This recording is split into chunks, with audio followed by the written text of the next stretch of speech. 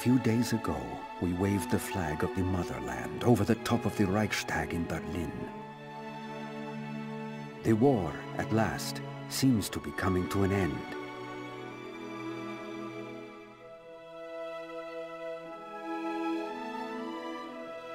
There is very little fighting left in the enemy. Soon I will be returning to our home.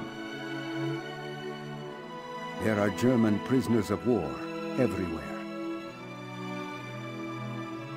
Today, I crossed the Elbe River in Germany and shook hands with an American soldier.